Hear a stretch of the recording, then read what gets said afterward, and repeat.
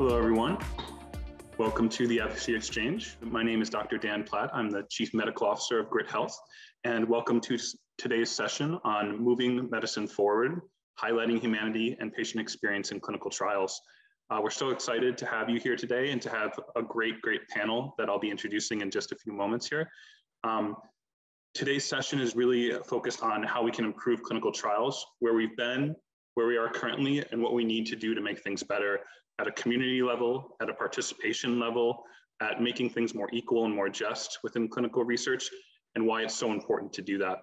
Um, our panel today comes from a number of different areas, um, pharma, industry, uh, government, um, and we're really, really excited to have these different viewpoints and bring them together today to really explain and, and focus on what each party is doing and what we're doing to work together to make these changes. Before I introduce the panel, I thought it might be a good idea to kind of level set for everyone and talk a little bit about where clinical trials were and clinical research, where we are now, and so that we can kind of set the position and understand what we need to do to move forward. So the first question I'd like to address is why clinical research is so important. And really, there's no improvement in medicine, no improvement in treatment without clinical research. It's the path that we, that physicians, that the public needs to take in order for things to get better, in order for patients to have better care. It also allows a comparison of treatments. So clinical research is the reason we don't still do bloodletting, uh, for example. It's the reason that we can compare treatments again, one against another and know that one treatment is better than another. Without that type of research and without the, the um, patterns of research that have been established, like randomization and double blind procedures, we wouldn't be able to do the work we do it's really the foundation of evidence-based medicine. Um, it is the reason that the last 50 years, 60 years have been have seen such great improvement in care. Um, it's the reason that we have the treatments we have now. So all that said, it's still incredibly unequal. And we face an uphill battle in order to make things better because of the history of what's happened and what's come before. And that really has to do with the fact that ethical and sound clinical research is a relatively new concept. Um, those things I mentioned, like randomization and double blind, they didn't really come into form until the 1940s. So you can kind of invalidate most of the research that came before that. Meanwhile, ethics in medicine and ethics in clinical research has been very slow to really kind of move forward, which I think we all know some of the things that have happened. But to give an overview of that requires that we identify the key problems that have happened in clinical research and that we we be uh, explicit about them and that we take them into account as we start to build from here. So it's important to mention that things like the American eugenics movement in the 1920s, which led to a lot of the studies that the Nazis did during the Second World War. In the 1800s, clinical research in the United States was pretty much done exclusively on slaves, on the mentally ill, on orphans. Um, it was incredibly, incredibly poorly done. And it was done that way because people were not doing the right thing. People were not taking into account the personhood, the importance of, and the needs of people, the needs of patients. Um, we got to the point in the 1940s, seeing after what, what came from the Second World War and what led after that, like the Nuremberg trials and bringing those Nazi doctors to justice. Um, people recognize the importance of really starting to put some rules down to clinical research, um, starting to protect patients, consent, um, benefits being greater than risks of clinical research. However, really at that point, that only applied to white people. Um, things like the Tuskegee syphilis study that started in the 1930s and continued to the 1970s, in which doctors from the government um, failed to treat um, African American men in the South who had syphilis and basically watched the disease progress in them, full well knowing that they had penicillin and could treat them. They also hid their disease from them. One of the most uh, damaging to, um, to American medicine uh, events in, in our history. Um, those things still echo today. Um, I think people are probably also familiar with Henrietta Lacks and her treatment at Johns Hopkins University, where her cells were taken without her consent. It has led to huge improvements in medicine, but it's still a, a black eye in the way it was done. Um, because of all these things, we now recognize and we know the importance of ethics and research, but we're still struggling to catch up.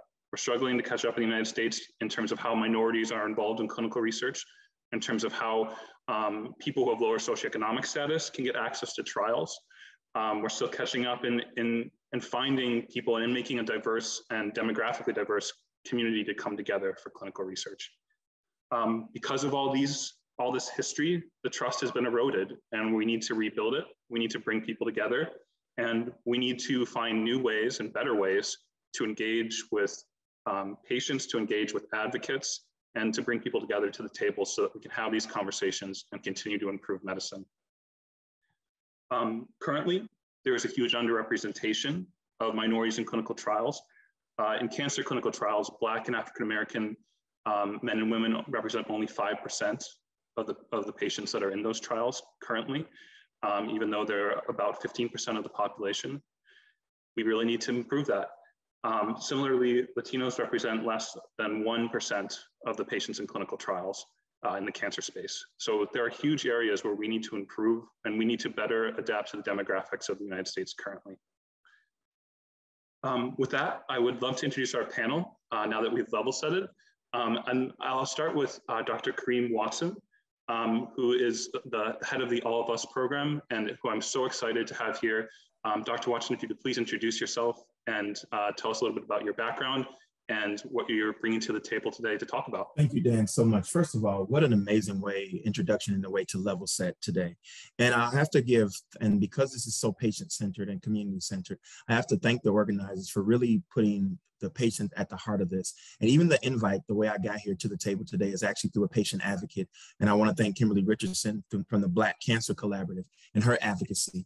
And I think we need to have those invites more often than not come from patients because too often as the researchers, as the government, we're inviting the patients to the table. But I think it'll be a true sign of equity and inclusion when the patients are inviting us to the table. So I want to thank you to Kimberly and her advocacy and her work.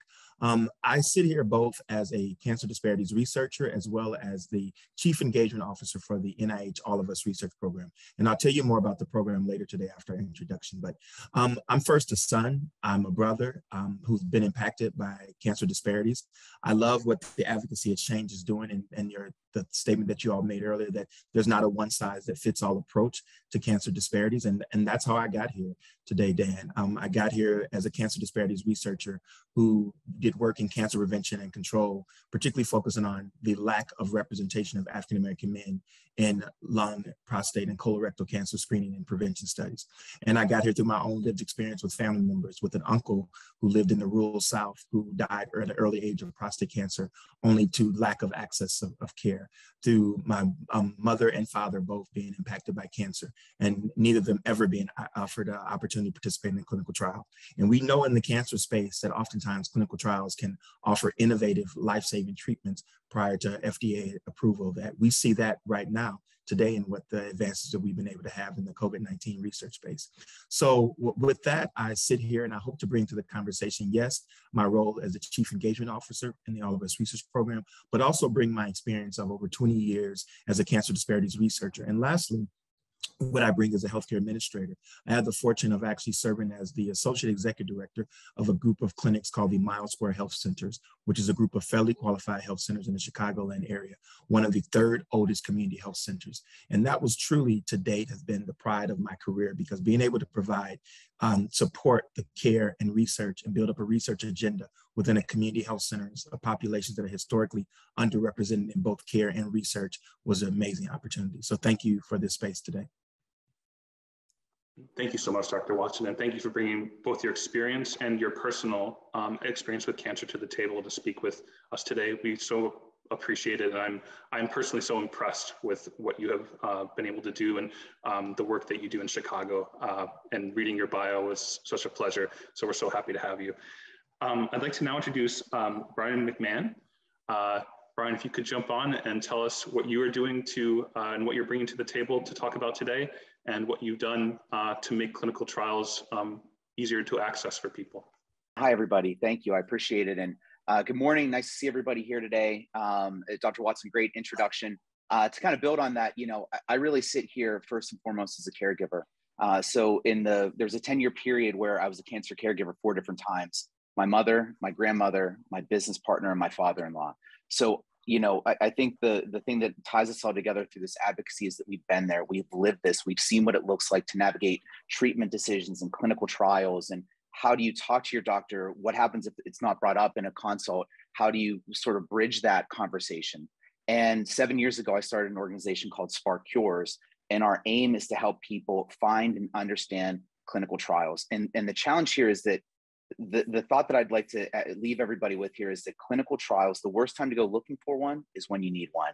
And this is not a moment in time search. We look at this as a journey, and a journey requires a relationship, and relationships require trust.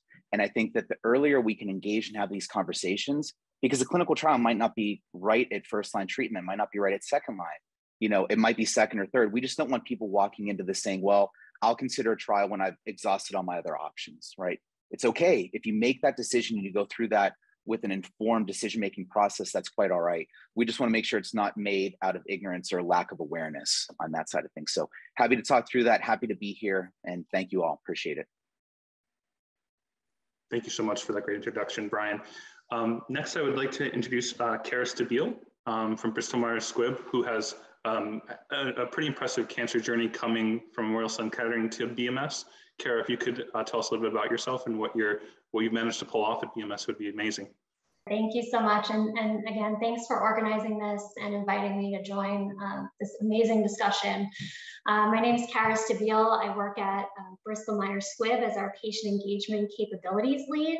I oversee BMS Study Connect, which is our global website where patients and caregivers can learn about and find clinical trials. And I also work with my team on evaluating and bringing in new patient centered digital tools to help patients along their, their clinical trial journey. Um, I'm an epidemiologist by training. Uh, before joining BMS, I, I, worked at Memorial Sloan Kettering Cancer Center for about 10 years, where I was doing mainly research and patient reported outcomes, patient quality of life, cancer survivorship, um, and I, I even worked with some former patients and caregivers to develop an electronic remote symptom monitoring tool for people undergoing treatment. Um, this topic in particular is very close to my heart. I am extremely passionate about research about the patient provider um, and patient sponsor partnership and relationship, uh, patient empowerment.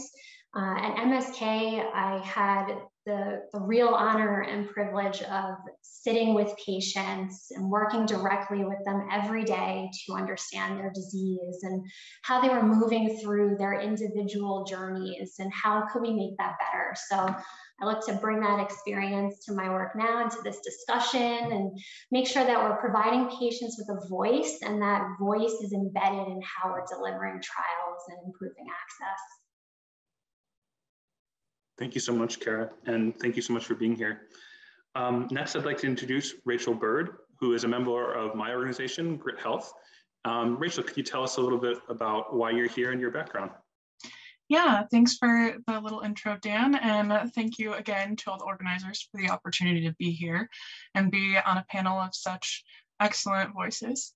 Um, so as Dan mentioned, my name is Rachel Bird, and I am a senior research coordinator with the Gryt Health research team. Um, so I bring a little bit of an interesting perspective to clinical research as the research that we do with Gryt Health is patient experience research.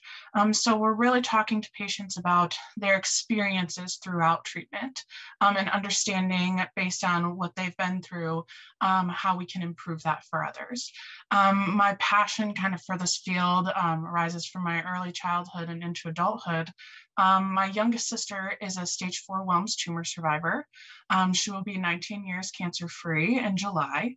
And um, from a very young age, that showed me that I really wanted to go into healthcare in some form, but wasn't really sure where that would be. Um, and during my undergrad, I actually lost my paternal aunt and uncle to very aggressive cancer diagnoses. And I saw a lot of the successes and failures of the system through watching their journeys.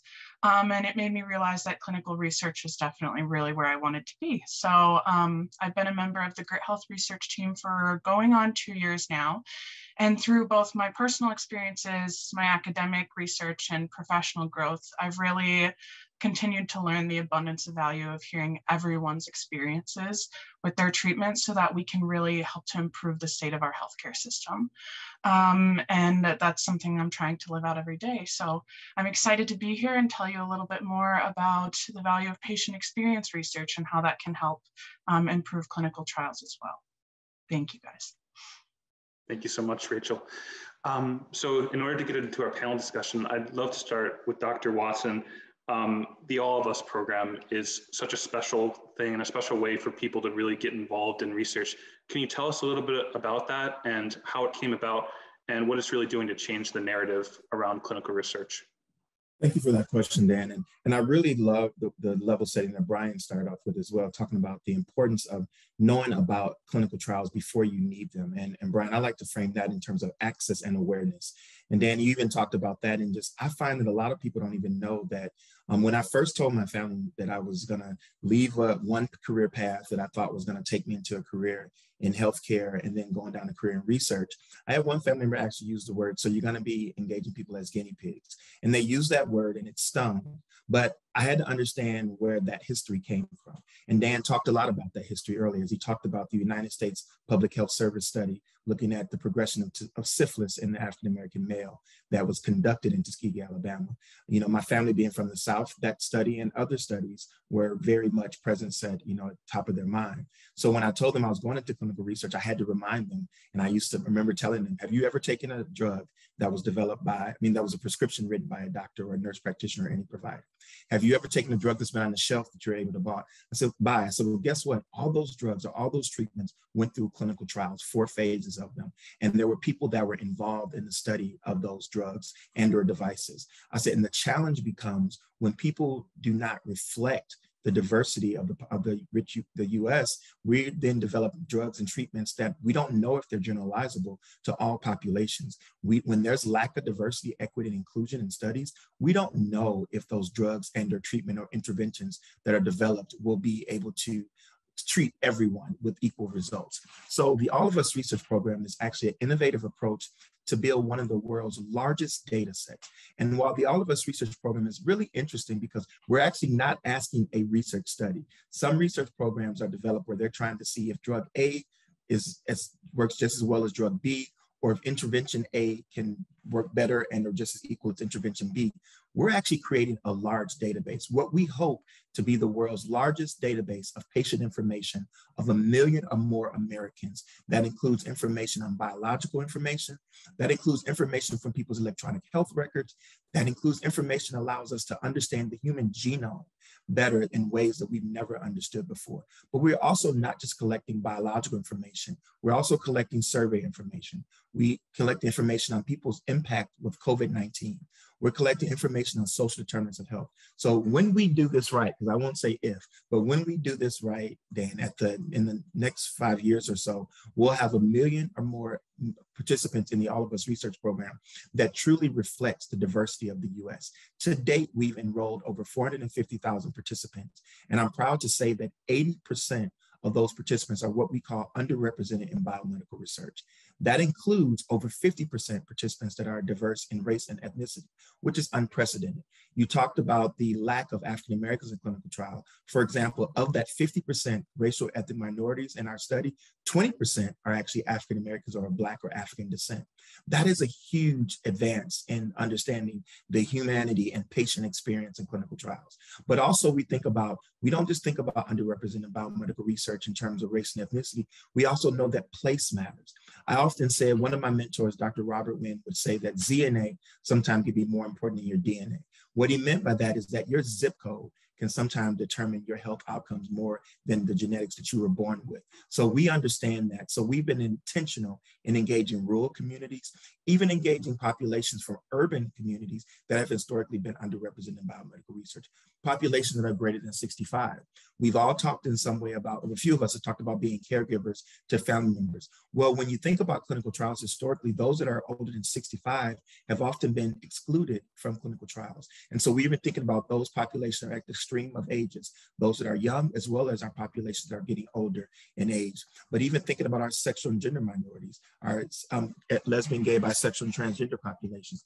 And then it's so important that the All of Us research program is looking at not just, like I said before, the genomics or the DNA, but understanding how that information may intersect. Because really, what in order to address a lot of the health disparities that we're seeing, Dan, we have to address that inter, what I call intersectionality, right? It's not enough to just know that African Americans have a higher rate of chronic kidney disease than some other populations, but we must understand A, if there's a genetic component to that, how can we intervene in that genetic component? But we also must understand if there's a lifestyle component to that. And we even under, have to understand how we began to disentangle structural inequities that may exist right? So that's what the All of Us research program is really doing. It's really hoping to, to disentangle that, that old model of a one size fits all approach. And we began out of, we're one of the largest initiatives of the National Institutes of Health Precision Medicine Initiative. And so we are really hoping that, and not only are we ensuring that we have diversity in our participants, but we also understand the messenger matters. So we also have intentional efforts to diversify the researcher workforce as well. Thank you so much for that, Dr. Watson. It's such a huge leap forward. And I'm so excited to start to see the results of the research that you, are doing. Like you said, um, the need for a genetic understanding, especially with, with so many new targeted treatments in the cancer space, um, that unfortunately those, a lot of those trials didn't have the demographics that were necessary. And so we're seeing things like, um, you know, uh, African-American men have much worse rates of, of response to CAR T, um, but those trials didn't really involve uh, it didn't really involve patients uh, a lot of the times that had the various demographics. We had to learn that in the real world, which should never happen. That needs to happen in clinical research. So thank you so much for the work you're doing. Um, I'd like to move to Brian. Um, so uh, you told us a little bit about your personal uh, background with, um, with research and seeing the experience of your family. Um, but I'd love to know kind of how you decided to start Spark Cures and how you went from recognizing that there were so few resources to starting to build those resources for patients.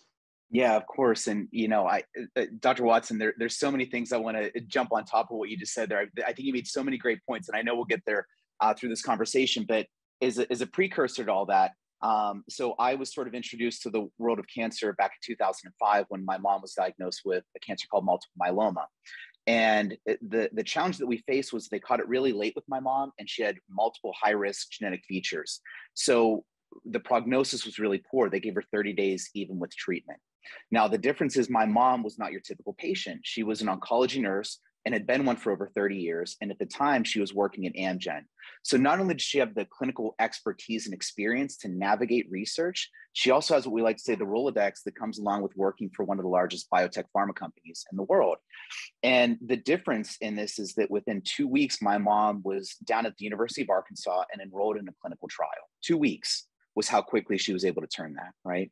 And you know the outcome is that my mother ended up living for just about two years with the disease which i like to say wasn't the outcome that we wanted but it was due to that clinical trial and clinical research and all the patients that came before her. We all stand upon the shoulders of giants. The only reason you know if you look at the 1960s and i, I know part of my conversation is very myeloma dependent we had really one treatment. It was melphalan right? It was a, a high dose chemo and that was it and then the 70s comes stem cell transplant. And now we have uh, 14 or 15 approved therapies in the myeloma space, and people are living longer and longer with higher quality of life.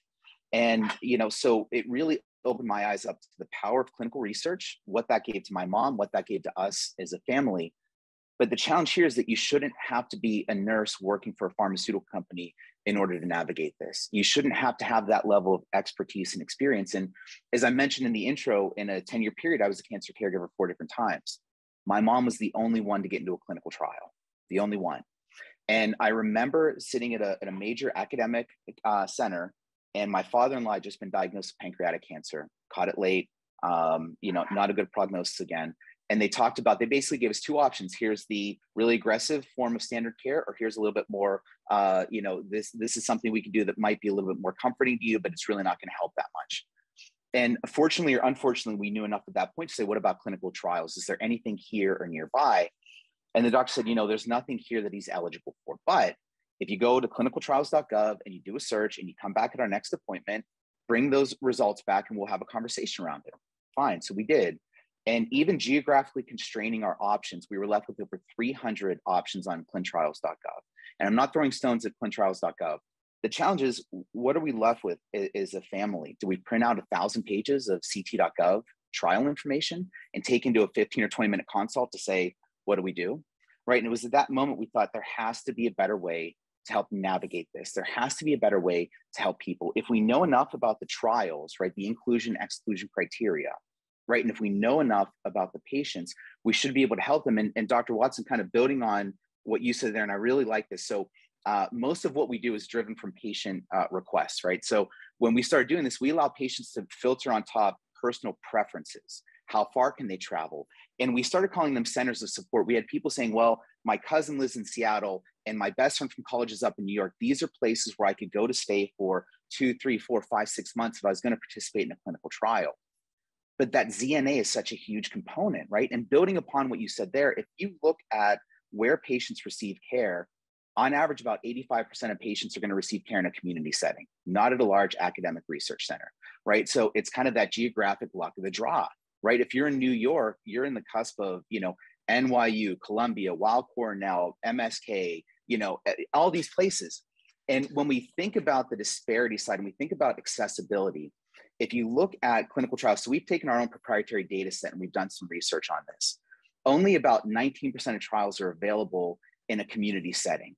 So 85% of patients are receiving care there, yet only 19% of these community centers have a trial to offer. And typically it's based off of the, co- uh, the co-op groups, so SWOG or ECOG. So if anything, you might see one that's looking at maybe the addition of one treatment on the standard of care. It gets even worse when we think about new novel therapies. We talked about CAR T cell therapy. If you look at bispecific antibodies or CAR T, which is huge right now in the myeloma space, only about 12% of community centers are participating or have the ability to offer this novel treatment that is giving exponential progression free survival and overall response to patients with myeloma.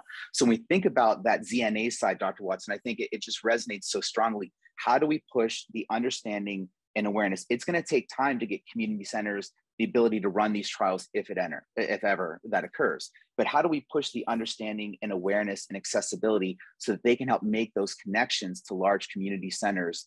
And how do we make it easier for patients to participate if they're not if they haven't won the geographic lottery if their zna you know hasn't panned out that way?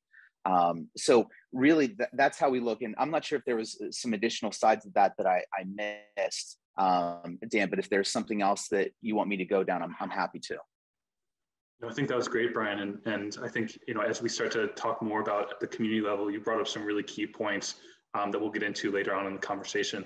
Um, Kara, uh, coming from your background of being in Memorial Sloan Kettering at a place where you've, you've seen this happen at an academic level, at a high academic level, and I'm and seeing the, the community involvement or, or lack thereof and the, the need to transition over, you brought that to BMS and have started to make some changes to Study Connect.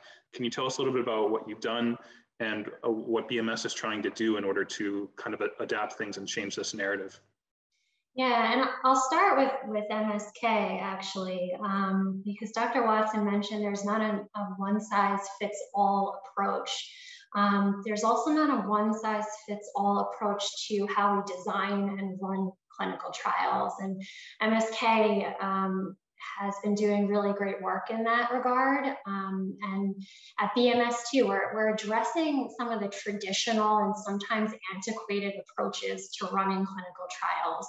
Um, so, you know, it's a it's a different way of doing things than our IRBs or even our clinicians are used to. Um, so we're, we're trying in an MSK and at BMS, we're trying to help change the mindset of how trials should be run um, and how we can connect and communicate with patients in ways that work for them and help improve their outcomes. Um, and that work has been expanded at MSK.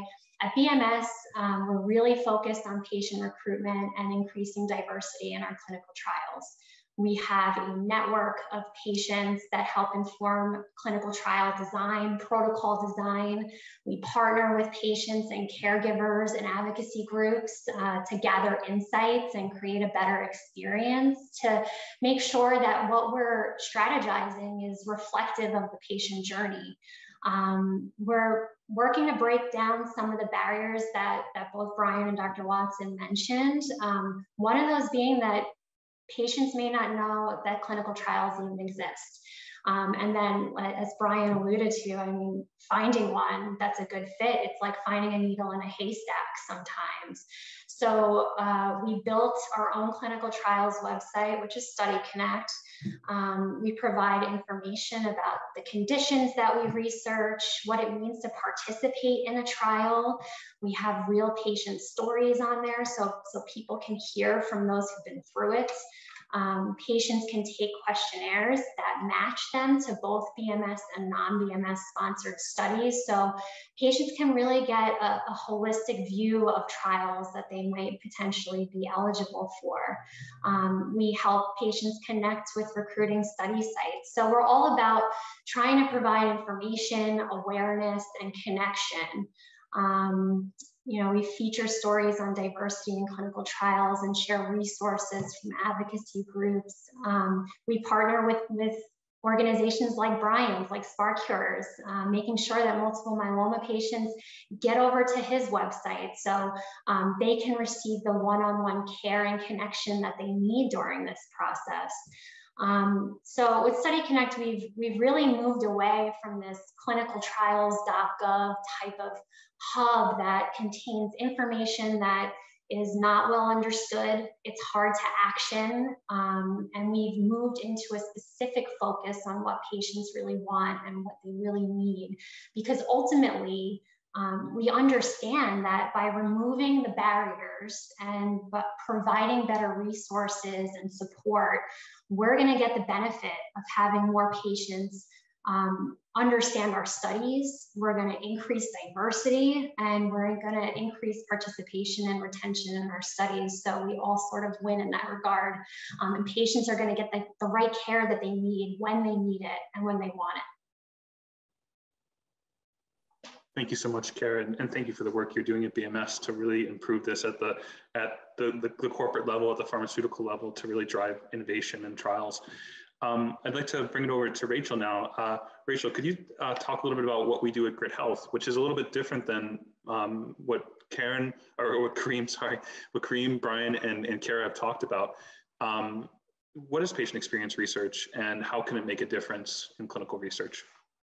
Yeah, definitely. So, um, as I kind of mentioned earlier, patient experience research is a little bit different than a lot of other traditional forms of clinical research in that it focuses really on what the patient experience was throughout from diagnosis all the way through survivorship or end of life care. Um, it really helps us to understand the full patient journey so that we can partner and speak with pharma about how we can better treat the patient, not the disease. Um, and at the end of the day, we really want to be able to be a sounding board, especially at Gryt and through patient organization uh, or patient um, patient experience research pro projects. We really want to be a sounding board for patients' experiences and understand everything that they've gone through so that it, it can they can know that those experiences truly matter and that they weren't just a number or um, just one of many patients that have gone through a similar experience.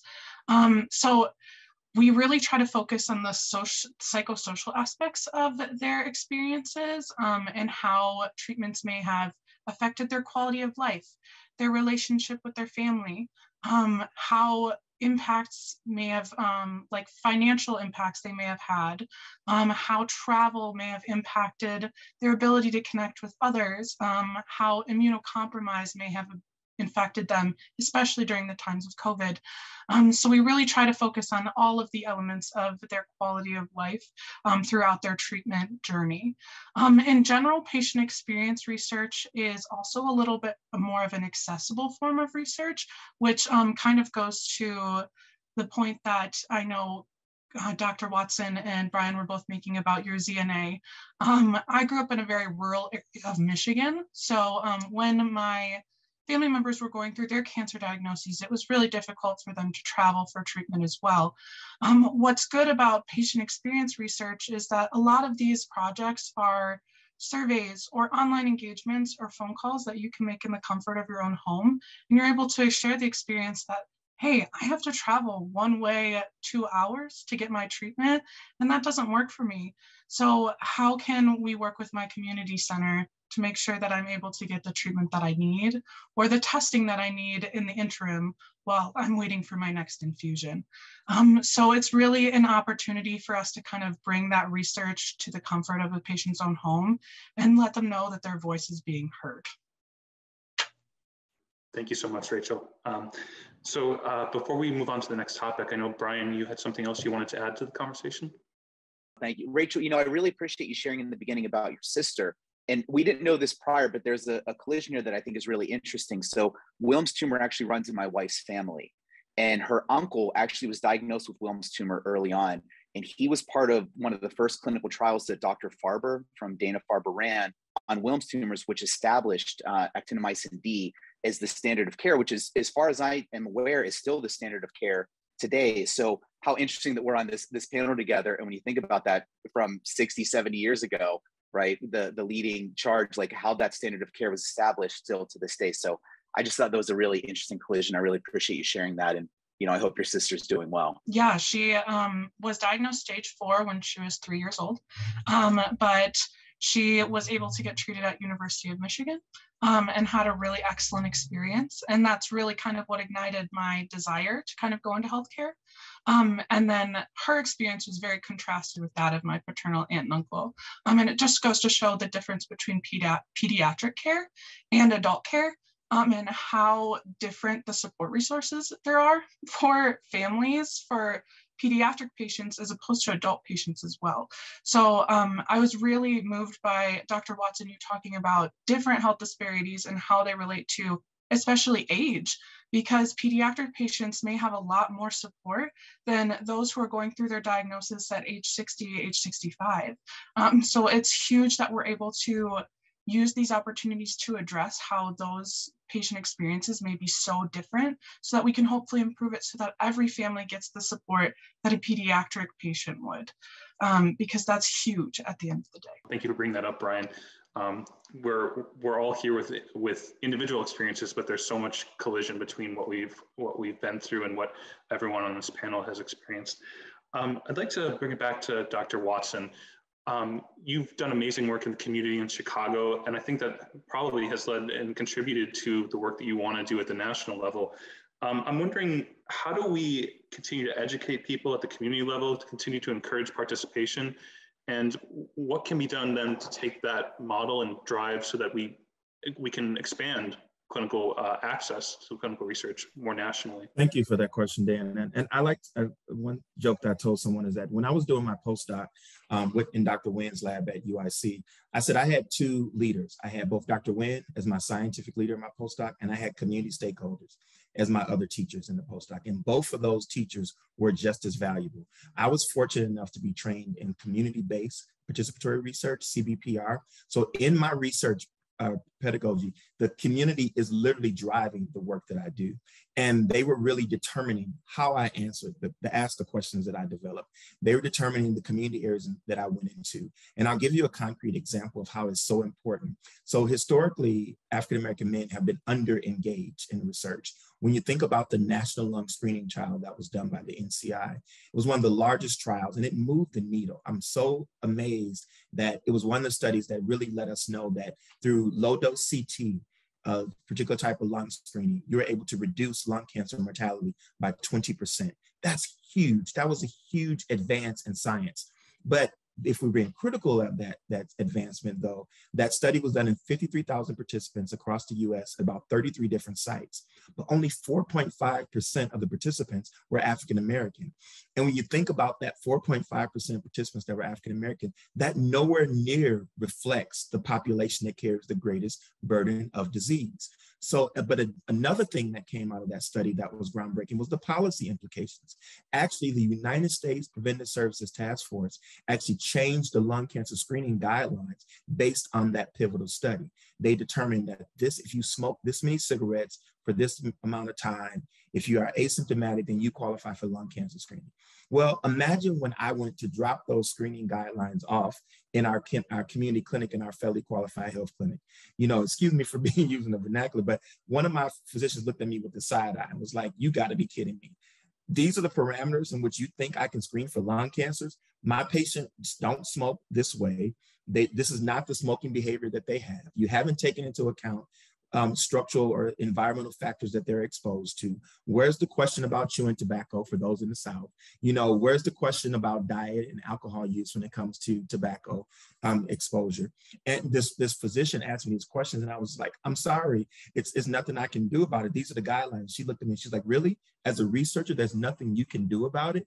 And I, I was like, thank you for that reminder. So we wrote a new study, and that project was called Shared, and it's now been funded by the NIH. And that project was actually looking to see how can we engage African American men as citizen scientists to first get them aware that lung cancer is a health disparity and to get them understanding that prevention and early screening in lung cancer can save lives. But we also talked about the importance of culturally tailored um, educational resources. We found out that the screening material, that the educational material that was developed for lung cancer screening, it didn't reflect the language or the, the populations that carry the highest burden disease, nor could my providers get through that pamphlet within a 17 minute visit when they had to deal with all the other things that those patients were dealing with. So just that simple fact of being able to engage African American men as citizen scientists to change how we think about getting access to lung cancer screening. With, I'm hoping it's going to be a game changer. But and but this this concept of involving community has been something in the All of Us research program that we've done since the onset. I am so proud that our former CEO, our founding CEO, Eric Dishman, was actually a cancer survivor. And Eric knew how to leverage his privilege. Eric said that as a straight white man, he was able to understand and get access to treatment and innovative care for his rare kidney disease that others would not have access to. And Eric set out on a mission to ensure that others, despite race, ethnicity, socioeconomic status, and geography were able to have the same experience in cutting edge, innovative research that he had. But even despite that, we still have a long way to go. I'll end with a story similar to Rachel. Rachel, I'm from the Midwest in Michigan as well, from a small, small town in Michigan on the west side of the state. And when my mother was diagnosed with lung cancer about three and a half years ago, they were getting ready to start a treatment, a chemotherapy treatment you shouldn't have to have the cell phone number of the cancer center director at the University of Illinois Chicago for that treatment to stop, right? So I called up Dr. Winn and Dr. Winn said, Karriem, stop. Have they done molecular targeting? Have they done molecular testing of your mom's tumor to see if she qualifies for molecular targeted therapy? I'm a cancer disparities researcher. I know about molecular targeted therapy, but in that moment, I was just a son. I didn't think about stopping the chemo, I mean, not starting the chemotherapy. I had my family in one ear you know, my mother wanted to be treated close to home, Rachel, like you said. She didn't, we wanted to get her to Ann Arbor, but she wanted to stay near home where she knew the doctor. She said, Well, I know this doctor. I know this community. I want my church members to be able to come by and visit me. So it was very important for her to get her treatment in near where she lived. So when Dr. Winn said, stop, don't start that chemotherapy treatment, that was a game changer because guess what? She did qualify for molecular targeted therapy.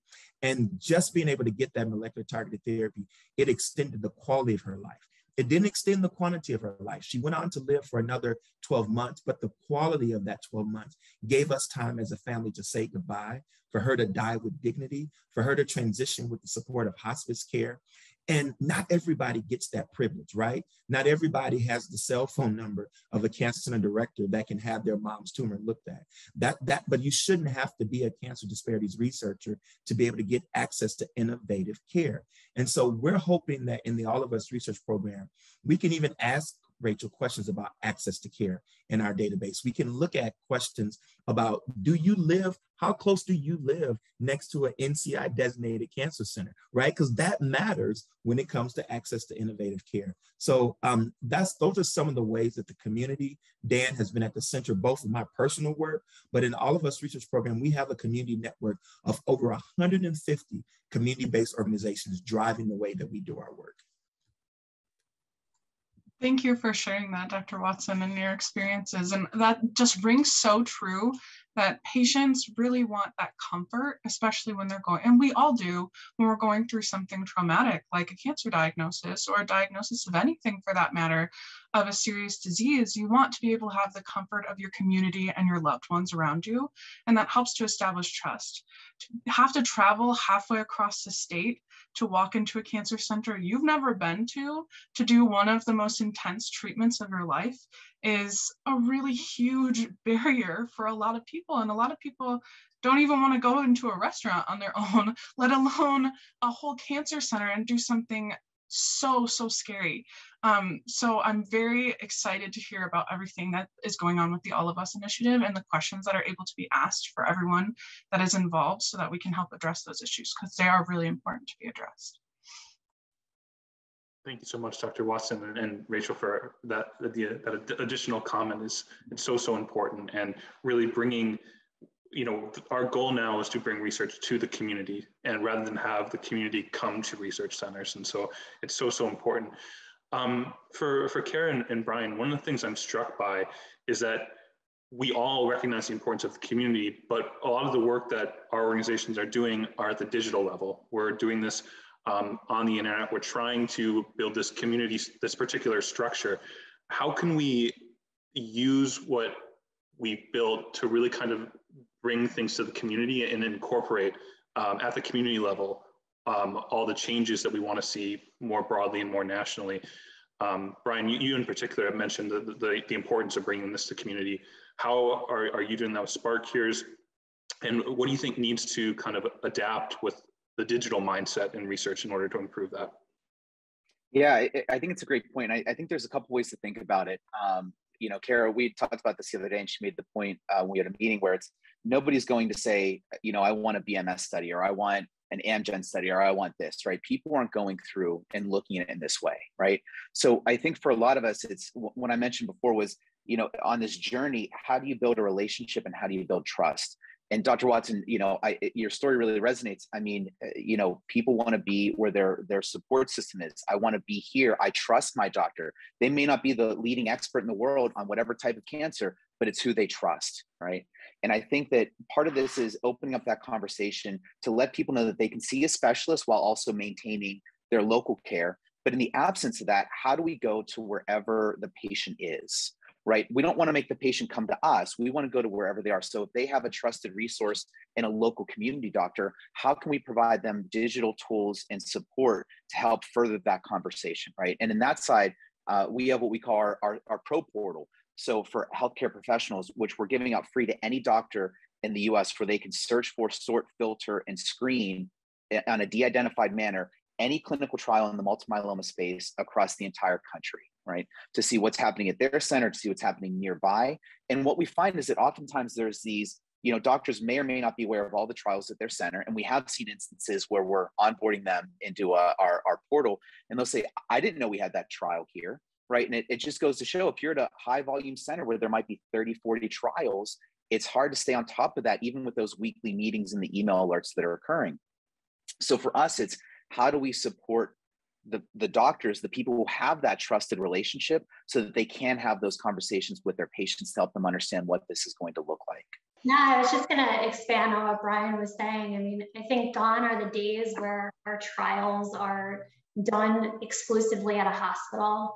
Um, so, you know, at BMS, we're, we're looking to decentralize that process and bring trials to patients into their communities and into their homes um, and build an uh, a set of tools to help patients on that journey. Um, but you know, we're we're doing this work. We're moving away from the institution into the patient. There's so many possibilities um, where we can use digital technologies for community engagement and leverage them to enhance equity and improve generalizability and, and improve outcomes, um, which is the work that we're doing now. But um, we can't just throw shiny things at everything and think that that's what patients want and need.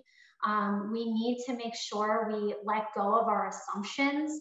You know, it's very easy for researchers and clinicians to think like researchers and clinicians. It's harder for researchers to think like patients. So for us, we're, we're looking to alter that perspective um, let go of our expectations and our assumptions of what real good care looks like and treatment looks like, and build a foundation of trust. And I know everyone was saying it here a foundation of trust and information and transparency that has not always been there. Um, and you know, making a decision about a clinical trial, it's it's significant. With all of the stories that we've heard today, it could be one of the most important decisions you make in your life. So, you know, while we're focused on decentralizing, digitizing this process, we have to ensure that the human element is embedded in everything we do. Just to kind of echo what um, you were talking about, Kara and Brian, uh, at the end of the day, patients listen to people that they trust, and patients really listen to other patients. Um, they want to hear other people who have been through their experiences and understand what they went through, what they liked, what they didn't like. Um, and at the end of the day, what we're really striving to do with a lot of patient experience research projects is to connect patients with other patients who have been through what they've been through. I know we've talked about CAR T a few times. Um, CAR T is a really interesting and up and coming treatment where a lot of patients are like, I just want to talk to somebody who have been who has been through this and i have no idea how i can make those connections. Um, so through patient experience research and also being able to engage a patient's community um, you're able to educate other patients potentially who may be considering something, um, uh, considering a similar treatment, and they're able to connect with someone who's been through what they may be about to go through, and it may help them feel a little bit more comfort in their decision as they're making it. Great points, everyone. Uh, I think you know this is such an important time to actually build these these connections. Um, you know, I, I think you alluded to it, Kara, but there's also we're also overcoming a bias among researchers, among physicians about who to go to and ask for about clinical research. It was mentioned, I think, you know, we have 15 minutes as a physician to try and speak to a patient, not only about their disease and what they've been experiencing, um, about, you know, what they can expect from treatment, but then to talk about a clinical trial, such a, an additional huge undertaking. And something like 70 to 80% of patients still hear from clinical research from their physicians. So there's a duty on, on that side to really kind of make things better and to, to improve the way we, we do that. Um, recognizing that we're, we're coming uh, down to time, I'm just gonna pose one more quick question. Um, all the folks that are, that are here, that are on this panel speaking to you, we come from different areas. We've been in academics, um, we've been working for smaller companies, for bigger companies like BMS. Um, uh, Dr. Watson has been working at the community level and then also at the governmental level through the NIH. Um, so one of the things that we haven't talked about is advocacy and the role that advocacy organizations can play in helping to build all these things that we're uh, that we're discussing. Um, I'm wondering whether anyone would like to, to speak up and talk a little about what they see the role of advocacy organizations being. We are on the advocacy exchange after all, and how we can all work together to, to really kind of fill the gaps that exist and that we've talked about in terms of representation and community activation towards clinical research? I'll kick us off, Dan, but I, am a government employee. I'm a public servant. When, when, people reach out to me and they apologize and say, I'm sorry to bother you. First, I work for you. You're not bothering me. Um, please reach out. It's my job. But even the fact that the Precision Medicine Initiative, it actually came out of the, the funding for it came out of the Cures Act. And I'm always amazed when I run into, and Cures Act was supported through patient advocates just like Brian and Rachel and Kara, right? So patients have amazing advocacy. I don't want to denote that uh, everyone has access to advocacy because that's not where we are. But there's voice for advocates to be able to drive how funding is, distrib- is distributed, how funding is supporting certain innovative cures, and, and making sure that funding gets to populations that need it most. So advocacy can really be a great way to start and determine where funding goes when it comes to research. I'll just say, um, I think advocacy organizations, um, you know, they have a leg up on us in pharma in terms of that trust and reputation. Patients look to you; they want to learn from you as advocates um, who, you know, who's walked through the journey, really. Um, so I, I, think advocacy organizations have a responsibility to educate patients and and their loved ones on why trials are important and how to find them, how it might impact their daily lives and their families, and um, continuing to be a bridge between patients and pharma is critical as well.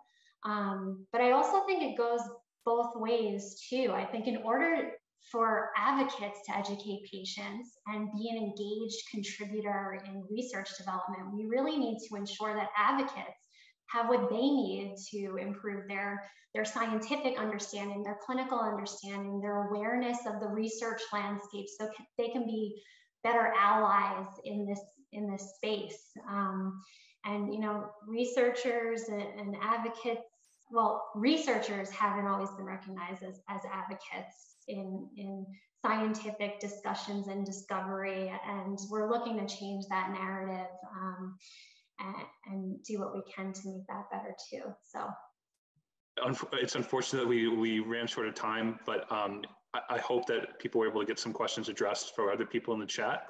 Um, if there are further questions, um, please feel free to, to email um, some folks on the team and we can maybe connect you with resources uh, and please visit the website to the Advocacy Exchange website to see the resources that are being posted as well. Yeah, I, I think the, the, the closing thought I have when we when we think about how to be better advocates, I think it's how do we elevate patient voice.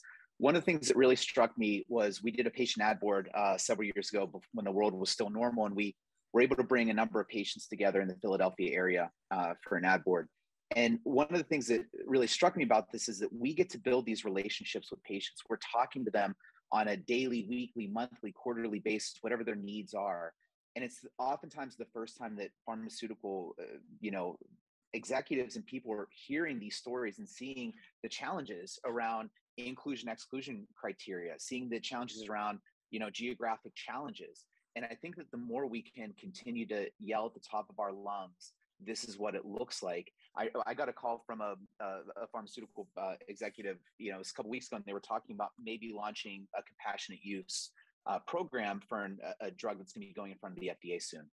And I said, you know, this is amazing. The only thing I would I would ask is that you try to remove now myeloma. One of the big criteria points is measurable disease that's done through MSpike, um, and a lot of times compassionate use will still require that and measurable disease in late stage myeloma is oftentimes an exclusion for a lot of these patients who aren't presenting in the way that most of these trials want, right? So, how can we sit there and take this feedback, the things that we're hearing from patients about the need to be in the community setting, the need to change that inclusion exclusion criteria, not just hit copy and paste from one protocol to the next, right? And really looking at the, the patient populations that we're looking to help and who have the highest need, especially in that relapse refractory setting how can we be that voice for them and carry that through in a way that resonates because they often aren't able to connect with pharma in the same way that we are. I think that's such a critical piece. One quick closing comment is just that as a kind of to echo what everyone has said here, we as researchers are just a vessel for delivering the ex- patient experience and for understanding what patients have really gone through. So we are just the megaphone for um, everything that they have gone through and what their experiences are. And we're here to elevate the patient voice and make sure that it's heard by pharma, by the government, by industry, um, just so that we can continue to improve moving forward. So I just feel very lucky every day to be able to amplify um, the voices of patients who have been through these experiences. Thank you so much, Rachel and Brian. That is a, a nice, a really nice way to, to end the conversation. Um, we appreciate everyone being here on behalf of the panel, Dr. Watson, Brian, Kara, Rachel, thank you so much for, for tuning in uh, to watch us. And I thank the panelists so much for a great, great conversation and really uh, walking through what we're trying to do to make a difference and where we've come from and where we're going. So thank you, thank you so much, everyone. Um, and have a great rest of your day and a great rest of your week.